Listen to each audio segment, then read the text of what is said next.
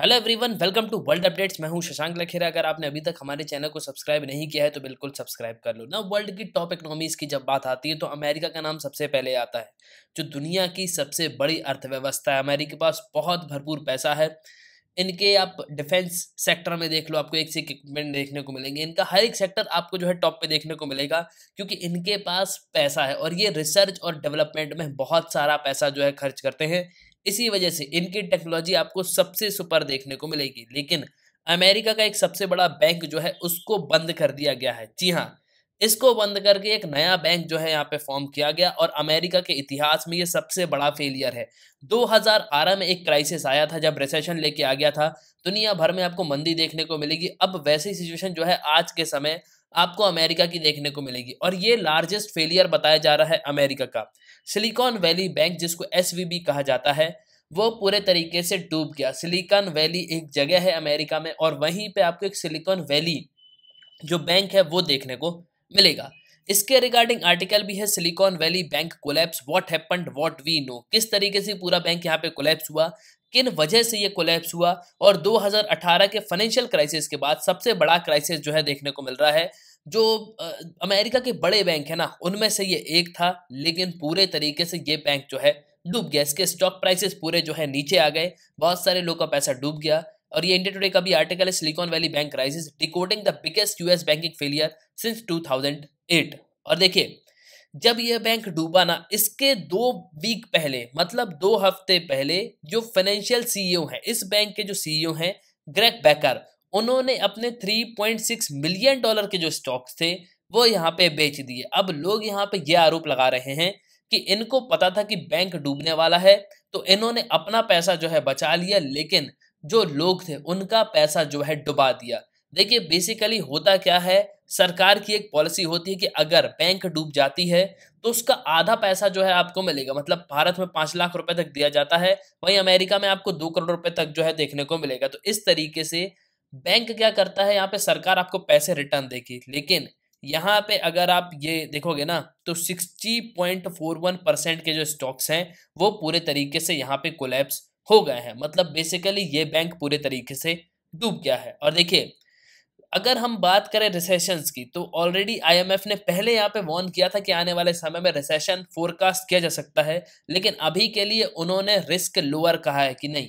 अभी रिस्क जो है काफ़ी कम है। लेकिन देखिए इसका मतलब ये नहीं है कि रिसेशन नहीं आ सकता। बिल्कुल, जिस तरीके की मंदी है, आने वाले समय में एक रिसेशन जो है, बिल्कुल दुनिया को फेस करना पड़ सकता है। और देखिए, अगर हम बात करते हैं अमेरिका की तो अमेरिका में आपको जो है, सिर्फ़ स्टार्टअप्स देखने को मिलेंगे। अमेरिका में नौकरी ज़्यादा लोग करते हैं नहीं। यूएसए में दो साल लोग नौकरी करेंगे, उसके बाद अपना स्टार्टअप जो है, शुरू करेंगे। यूएसए सबसे ज़्यादा स्टार्टअप्स के लिए जाना जाता है। और बहुत सारे जो स्टार्टअप्स हैं, वो यूएसए से ही शुरू होते हैं। फेसबुक यूएसए से शुरू हुआ एप्पल आपको जो है वहीं की कंपनी देखने को मिलेगी माइक्रोसॉफ्ट वहीं की कंपनी है। तो बेसिकली जो बड़े बड़े जाइंट्स हैं ना, वो आपको सिर्फ़ और सिर्फ़ अमेरिका के देखने को मिलेंगे। अब देखिए, हुआ यहाँ पे क्या कि जब कोई भी स्टार्टअप शुरू करता है ना तो उनको ज़रूरत होती है पैसे के। वो पैसे कौन देता है? तो वो पैसे सिलिकॉन वैली देता है। सिलिकॉन वैली एक कमर्शियल बैंक है, जिसका हेडक्वार्टर आपको सेंट क्लारा सेली कैलिफ़ोर्निया में देखने को मिलेगा। अब देखिए SVB यानी कि सिलिकॉन वैली बैंक जो है जो यूनाइटेड स्टेट्स के लार्जेस्ट बैंक है उनमें से ये एक है। और सिलिकॉन वैली जो है सबसे बड़ा बैंक है। इसको uh, 1983 में यहाँ पे फॉर्म किया गया था। और यहाँ पे अगर आप देखो तो 10 मार्च 2023 को जो है इसको पूरे तरीके से यहाँ पे क्लोज किया गया। यहाँ पर रीजन भी लिखा है failed after a bank run on its deposit and taken into the receivership by the Federal Deposit Insurance Corporation तो बेसिकली पूरे तरीके से जो है इस बैंक को यहाँ पे बंद कर दिया गया है। और ये फेडरल डिपॉजिट इंश्योरेंस जो है वो इसका पेरेंट था। तो अब जो पैसे यहाँ पे लोगों के बचा के रखे हैं मतलब सरकार की एक पॉलिसी होती है ना कि इतना पैसा जो हम आपको देंगे तो उसको बैंक ऑफ़ सेंट क्लारा एक नया बैंक बनाया गया और वहाँ सब जो है पैसे जमा कराए गए हैं। अब देखिए अगर हम बात करें इस पूरे बैंक की तो ये बैंक जो है आपको देखने को मिलेगा कैलिफ़ोर्निया में। अब कैलिफ़ोर्निया की तरफ़ से थोड़ा जूम इन करता हूँ, पहले यहाँ पे देख लो। देखो, ये कैलिफ़ोर्निया और कैलिफ़ोर्निया का जो ये नॉर्दर्न रीजन है ना, इसको सिलिकॉन वैली कहा जाता है। सिलिकॉन वैली का मतलब यहाँ पे ये होता है कि बहुत सारे स्टार्टअप्स बहुत सारी जो कंपनीज़ हैं आईटी सेक्टर की कंपनी है टेक्नोलॉजी से रिलेटेड कंपनी है, वो सब आपको यहीं देखने को मिलेगी। भारत में बैंगलोर को भी सिलिकॉन वैली कहा जाता है। वैसे ही अगर आप देखोगे तो यहाँ पे आपको नॉर्दर्न रीजन जो है कैलिफ़ोर्निया का, वो आपको सिलिकॉन वैली जो है देखने को मिलेगा। यहाँ बहुत सारी कंपनीज़ है गूगल फेसबुक माइक्रोसॉफ्ट ये सब जो कंपनी है, ये आपको यहीं पे जो है देखने को मिलेगी। अब देखिए, हुआ क्या है पिछले दो दिनों में? बहुत ज़्यादा ही जो है इनको लॉस यहाँ पे झेलना पड़ा। करीब सौ बिलियन डॉलर का जो है लॉस हुआ है मार्केट वैल्यू में। अमेरिका के बैंक्स के जो शेयर है, वो एकदम से यहाँ पे गिर गए।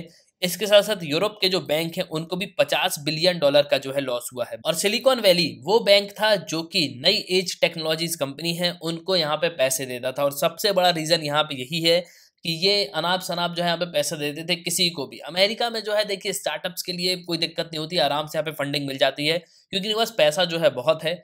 और ये बैंक क्या करता था, हर एक स्टार्टअप्स को यहाँ पे पैसे देता था। लेकिन हुआ बाद में यहाँ पे ये कि इनके जो पैसे हैं, वो यहाँ पे रिटर्न नहीं आए। इसके बाद अगर आप देखोगे तो यूएस का जो फेडरल रिज़र्व है, उसने जो इंटरेस्ट रेट है, उस पर भी बढ़ोतरी कर दी। पिछले 18 महीनों में यूएस के जो फेडरल रिज़र्व हैं, उन्होंने अपने इंटरेस्ट रेट को बढ़ा दिया। भारत ने भी आरबीआई में रेपो रेट को जो है बढ़ा दिया था। इसकी वजह से कई सारी कंपनीज़ को बहुत ज़्यादा लॉस जो है होना पड़ा। देखिए, जब इंटरेस्ट रेट यहाँ पे बढ़ते हैं ना तो किसी को भी बहुत ज़्यादा दिक्कत होती है। आप सोच के देखो, आप यहाँ पे दो, चार, पाँच, दस लाख की बात करते हो, लेकिन अगर कोई स्टार्टअप यहाँ पे शुरू कर रहा है तो आप मान के चलो पाँच करोड़, दस करोड़, इस तरीके से जो है अमेरिका में यहाँ पे लोन लेता होगा। अब पाँच करोड़ में जब आपको लोन देना हो और उसकी इंटरेस्ट रेट एकदम से यहाँ पे बढ़ जाए तो काफ़ी ज़्यादा प्रॉब्लम जो है होती है। तो वही सिंपली जो है यहाँ पे हुआ है। इस वजह से ये बैंक जो है पूरे तरीके से यहाँ पे कोलेप्स हो गया। जो लोन इन्होंने दिया था, वो सब यहाँ पे वापस आया नहीं। पूरे तरीके से जो है ये बैंक कोलेप्स हो गया। इनके पास पैसा यहाँ पे नहीं बचा। तो इनके जो स्टॉक्स हैं, वो सब एकदम से जो है यहाँ पे नीचे आ गए। तो इस बैंक की जो वैल्यू है, वो पूरे तरीके से यहाँ पे ज़ीरो हो गई। इस वजह से ये बैंक जो है कोलेप्स हुआ है। और मैं आपको एक चीज़ बता दूँ। एक रीज़न तो यहाँ पे इंटरेस्ट रेट है, दूसरा रीज़न यहाँ पे ये है कि जो लोन यहाँ पे इन्होंने दिया था, वो बिल्कुल जो है वापस नहीं आया। और एक चीज़ मैं आपको और बता दूँ कि जो टेक्नोलॉजी से रिलेटेड कंपनी है, उनका परफॉर्मेंस आपको लगातार जो है गिरता हुआ नज़र आएगा। उतना अच्छा वो परफॉर्म कर नहीं पा रही है। इस वजह से जो शेयर्स के प्राइजेस हैं, वो बिल्कुल आपको ऑल टाइम लो पे मिलेंगे। तो एक रीज़न तो यहाँ पे ये भी है। और 2023 में यहाँ पे रिसेशन की बात भी आ रही है। देखिए, अभी तो आईएमएफ ने यहाँ पे ये कहा है कि रिसेशन जो है लोअर रिस्क पे है। लोअर रिस्क पे मतलब ऐसा नहीं है कि नहीं आएगा। आ भी सकता है और नहीं भी आ सकता। लेकिन मैं आपको बता दूँ कि आने वाले समय में रिसेशन की जो है स्थिति बिल्कुल यहाँ पे बन रही है। ऑलरेडी बहुत सारी जो एजेंसीज हैं, उन्होंने पहले ही यहाँ पे वॉर्न कर दिया कि 2023 में एक मेजर रिसेशन जो है दुनिया को फेस करना पड़ेगा। तो एटलास आई होप आपको जो है इस वीडियो में काफ़ी कुछ जानने को मिला होगा। आप अपने ओपिनियन लिखिएगा ज़रूर। इसी के साथ ये तंत्र इस वीडियो का सुनने के लिए बहुत धन्यवाद। जय हिंद, जय भारत।